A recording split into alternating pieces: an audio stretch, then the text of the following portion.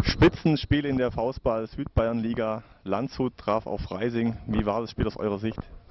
Ja, es war heute mehr drin. Äh, wir haben äh, leider nur unentschieden gespielt und ähm, hatten eigentlich den äh, ersten Satz ein bisschen verschlafen. Den haben wir auch hergeben müssen. Die Sätze 2 und 3 haben wir dann für uns entschieden und mussten dann leider im vierten Satz den Ausgleich hinnehmen. Ähm, es war eigentlich mehr drin heute. Und wir sind aber trotzdem zufrieden, dem Tabellenführer einen Punkt abgenommen zu haben und die ersten zwei Satzverluste beigebracht zu haben. Benny nach dem 2-1 ja sogar mehr drin gewesen. Warum hat es am Schluss nicht gereicht? Ja gut, äh, wir haben den Satz gewonnen. Äh, ich dachte eigentlich, im vierten Satz geht da noch ein bisschen mehr, aber die Stimmung kam nicht mehr so auf. Es war dann lange ausgeglichen, ein paar Eigenfehler. Und dann ging es dann, ja, da war der Wille auch nicht mehr da zu gewinnen.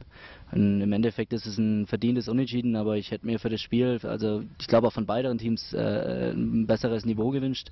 Es war ein bisschen äh, viele Eigenfehler, schlechte Annahmen, zerstreutes Spiel. Aber äh, den ersten Satz haben wir gewonnen und nicht Landshut soweit ich das noch weiß, hat er kein bisschen falsch gesagt.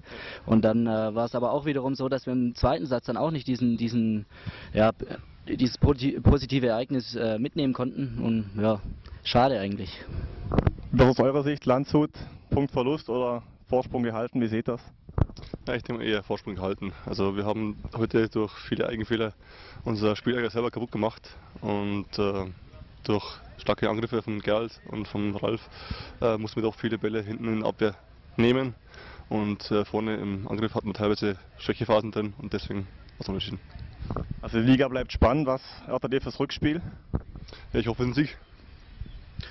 Auch ein Sieg, aber für uns dann halt. Ja. Gehe ich auch davon aus, dass wir die Sache für uns noch entscheiden können. Ich denke, wenn beide keine Feder mehr lassen, dann wird das ein richtig tolles Endspiel. Ähm, ich glaube, wir treffen uns am letzten Spieltag, äh, treffen wir zusammen in München und denke, da wird das geboten werden. Alles klar, vielen Dank.